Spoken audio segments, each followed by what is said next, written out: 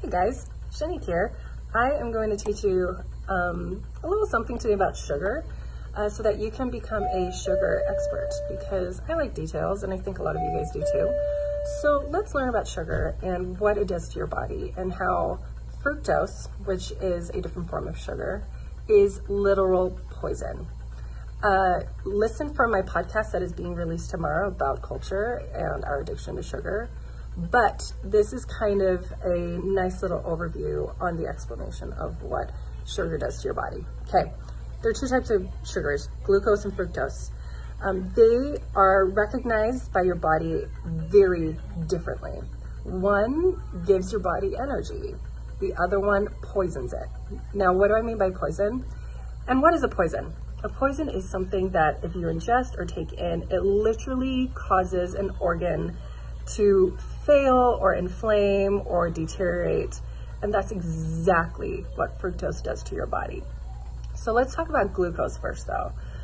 Glucose, when you ingest it, goes into the bloodstream and um, it triggers, first it triggers your hormones to make you feel full.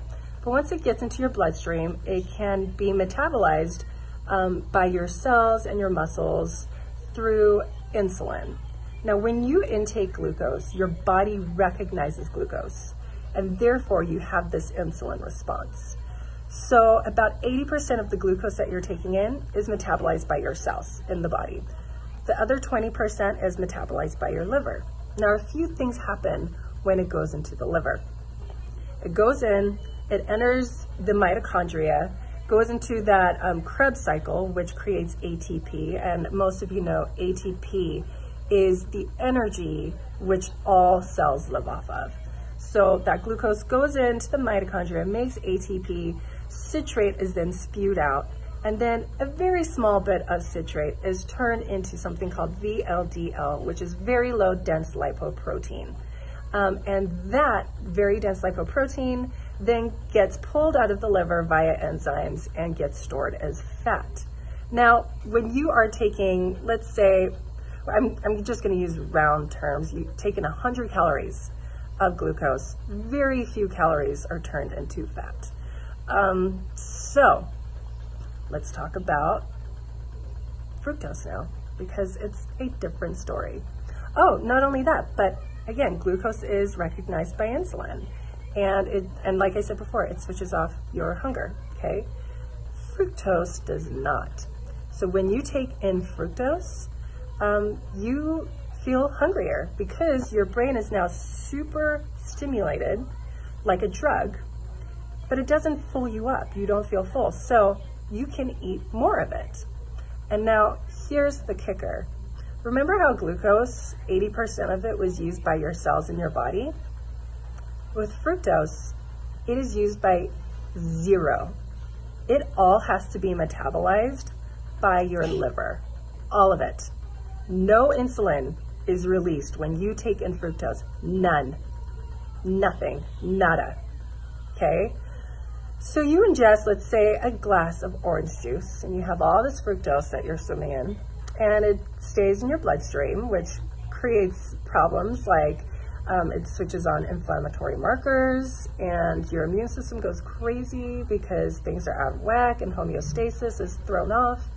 So now you have inflammation and you have an autoimmune system that is a little angry, but then it gets filtered through your liver.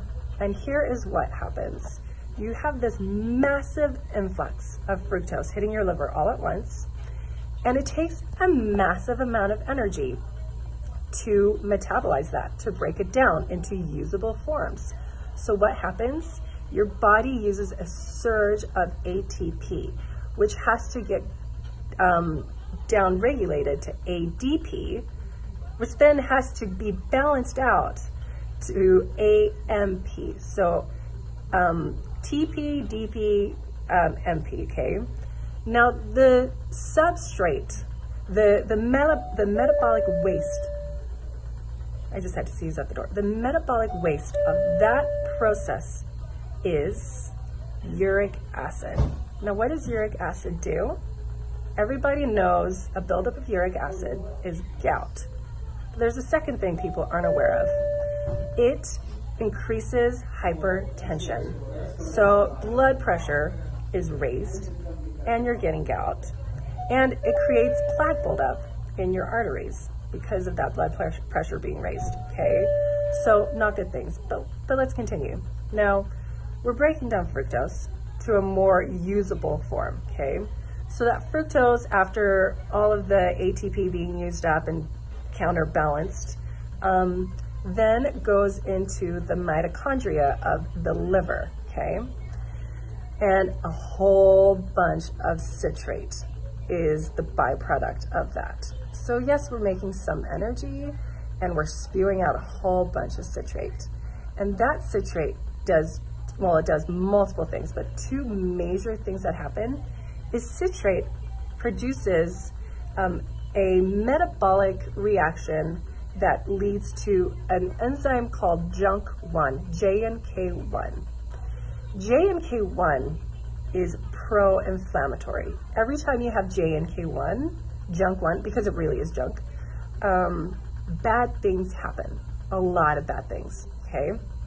But not only that, let's go back to that citrate that got spewed out of that Krebs cycle, right? From the mitochondria. All of that citrate, all of it. Because remember, all the fructose went into the liver, all of it. All of that citrate is now being transformed into VLDL. And that VLDL, that very low dense lipoprotein, which is basically fat, creates fatty liver.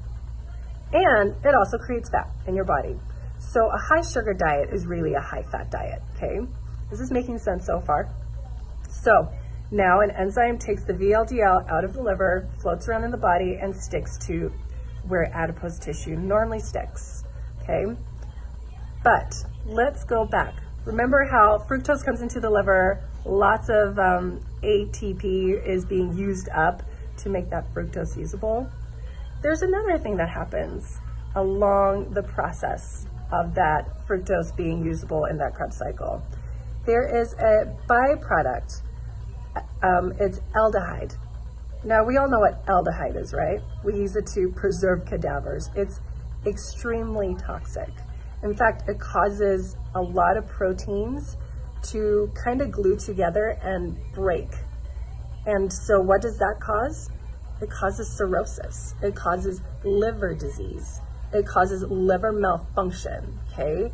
You never ever want proteins to break and to become compromised because not only does that lead to liver disease, it leads to other diseases like cancers, for instance. So do you see how there's literally nothing good that comes out of fructose?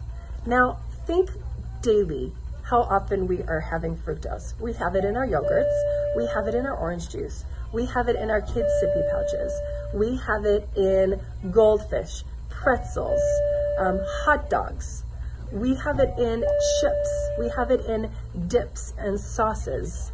When you think of your kids' breakfasts in the morning, are they having um, French toast or waffles or pancakes.